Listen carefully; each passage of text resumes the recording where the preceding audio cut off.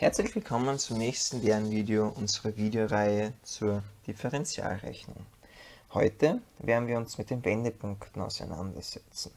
Über diesen Begriff sind wir bereits kurz im Video zum Bestimmen von Krümmungsverhalten einer Funktion bestoßen.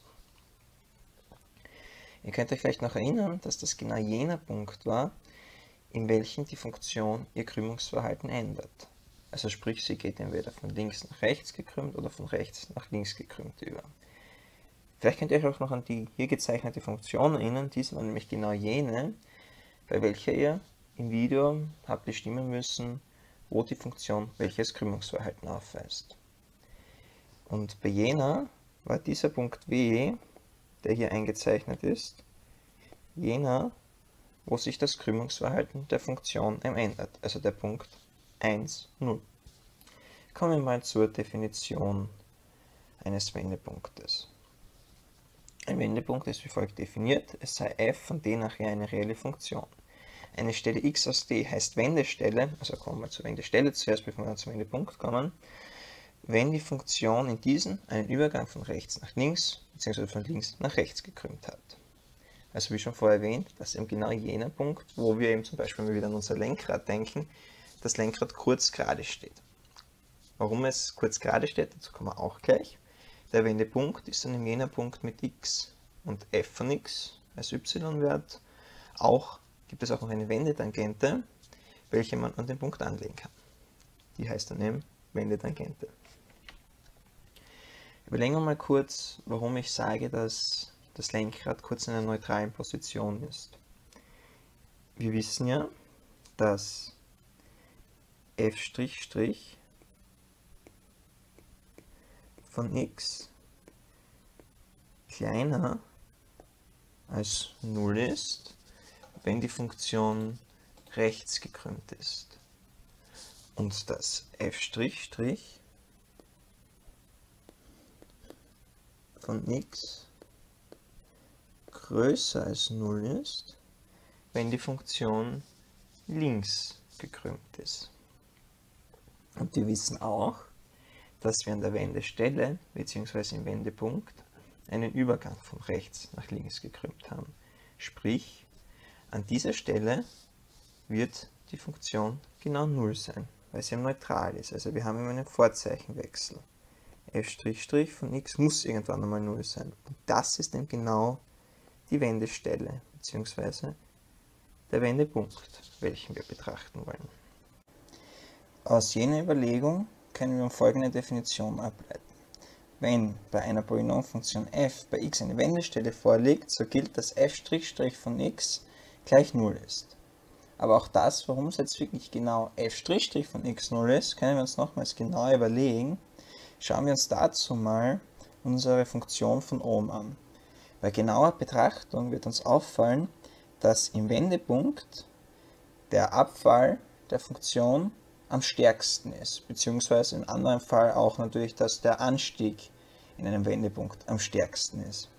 Und genau deshalb liegt hier bei der Funktion f' von x, wir erinnern uns, f' von x sagt uns ja, ob eine Funktion oder in welchen Bereichen eine Funktion monoton steigend oder monoton fallend ist bis f' von x größer als 0, so ist die Funktion monoton steigend, also die Funktion f ist f' von x kleiner als 0, so wissen wir, dass die Funktion monoton fallend ist.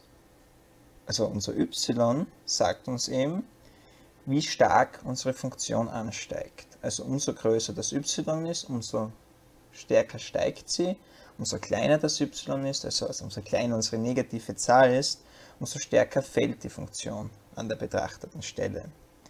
Also ist sozusagen unsere Wendestelle ein Extremum, also ein Maximum oder ein Minimum solch einer betrachteten Funktion f'. Also suchen wir nach f' von x gleich 0. Ähm, überlegen wir nun ein wenig weiter. Der aufmerksame Zuhörer fragt sich nun vielleicht, ob es ausreichend ist, dass wir f' von x gleich 0 betrachten. Überlegt euch das mal kurz selber, ob das ausreichend ist, dass f' von x gleich 0 ist für eine Wendestelle oder ob es dazu vielleicht noch ein wenig mehr braucht, dass es auch wirklich eine Wendestelle ist.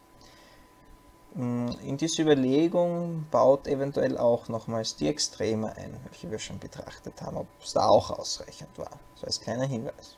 Überlegt euch das im Kurz selbst, die Auflösung gibt es gleich hier im Video.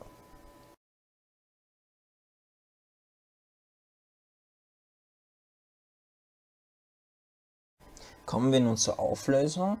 Und nein, es ist nicht ausreichend, dass f' von x gleich 0 ist, damit eine Wendestelle vorliegt. Dazu können wir ein Gegenbeispiel betrachten. Jene Funktion, welche ihr hier abgebildet seht, ist nichts anderes als fx gleich x hoch 4. Wenn wir uns jetzt davon die zweite Ableitung anschauen, diese ist also f' von x, ich lasse jetzt den Zwischenschritt aus, also wir leiten es einfach zweimal ab, ist nichts anderes als 12x Quadrat. Naja, und 12x Quadrat wird 0 für x gleich 0. Also f' von x ist 0 für x gleich 0. Also liegt die Vermutung nahe, zumindest aus dieser Rechnung, dass bei x gleich 0 eine Wendestelle ist. Wenn ihr euch jetzt schon mal die Funktion anschaut, dann seht ihr auch gleich, dass das gar nicht sein kann, dass bei x gleich 0 eine Wendestelle ist, weil sich das Krümmungsverhalten ja gar nicht ändert. Die Funktion bleibt einfach links gekrümmt. Und wir sehen, dass es eben nicht ausreicht, dass f' von x gleich 0 ist.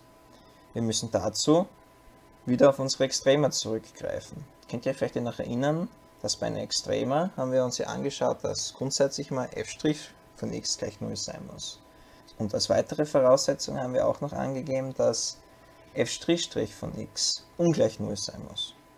Und nachdem wir jetzt eine ähnliche Betrachtung vollziehen, nur dass wir von unserer Funktion f' ausgehen, muss eben hier jetzt f'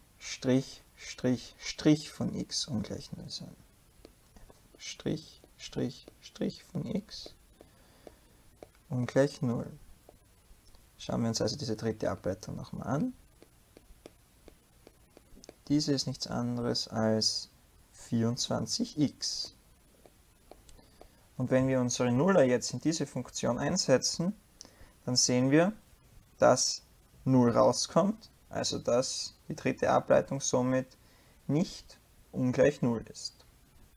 Und damit sehen wir, dass auch rechnerisch es nicht hinkommt, dass wir einen Wendepunkt haben. Mit Hilfe jener Überlegungen können wir nun folgenden Satz formulieren. Wir betrachten eine reelle Funktion f, welche von d nach r abbildet. Es liegt nun eine Wendestelle x aus d vor von f, wenn gilt, dass die zweite Ableitung gleich 0 ist und die dritte Ableitung der Funktion f ungleich 0 ist für x. Um das Ganze etwas klarer werden zu lassen, betrachten wir ein Beispiel. Wir betrachten die Funktion x hoch 3 plus 3x plus 4. Wir wollen hier jetzt eben die Wendestellen angeben und auch noch zusätzlich die Wendetangente. Die Wendetangente haben wir jetzt theoretisch noch nicht behandelt, wird aber anhand eines Beispiels klar werden, wie man diese aufstellt und was sie uns sagt. Betrachten wir zuerst mal die ersten drei Ableitungen, welche wir für die Berechnung der Wendestellen benötigen. Wir benötigen f' von x, welches gleich 3x plus 6x ist. Wir benötigen f' von x, welches gleich 6x plus 6 ist. Wir benötigen dann auch noch f' von x, welches gleich 6 ist. Damit haben wir mal die drei Ableitungen, welche wir eben zur Berechnung der Wendestellen benötigen. Kommen wir nun zur Berechnung an sich. Dazu wissen wir, dass wir erstmals f' von x gleich 0 setzen müssen. Und f' von x ist gleich 0 für x gleich minus 1.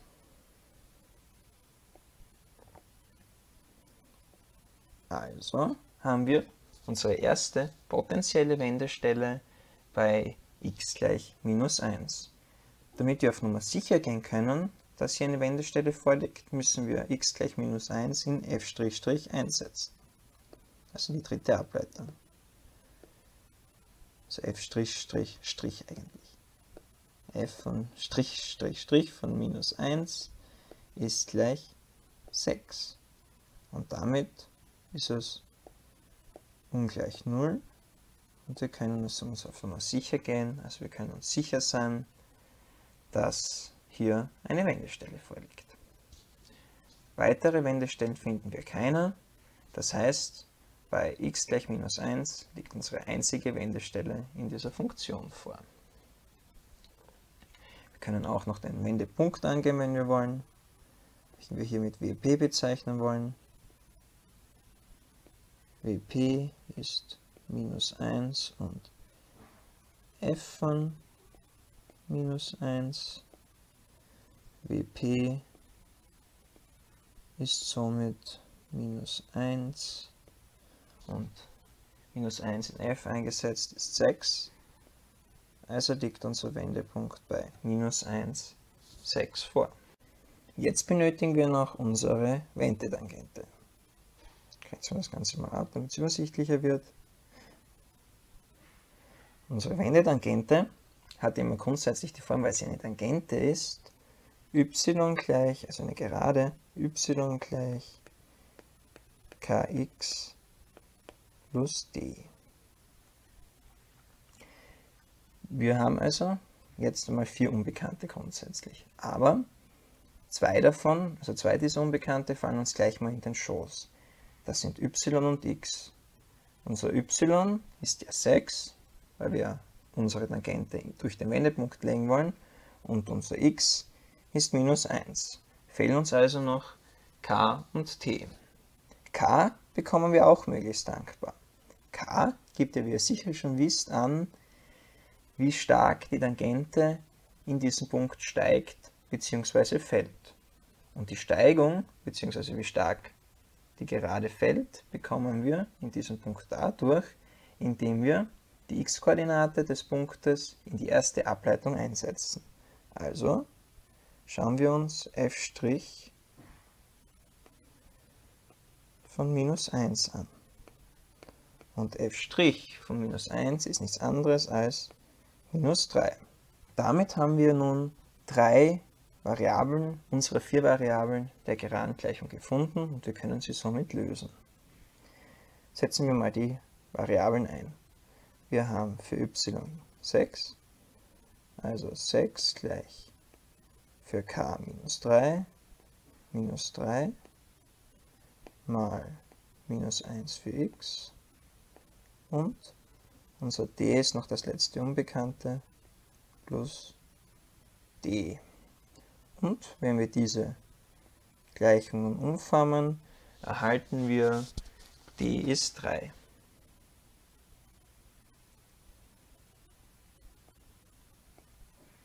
Wir können dann unsere Geraden-Gleichung in der gewohnten Form angeben.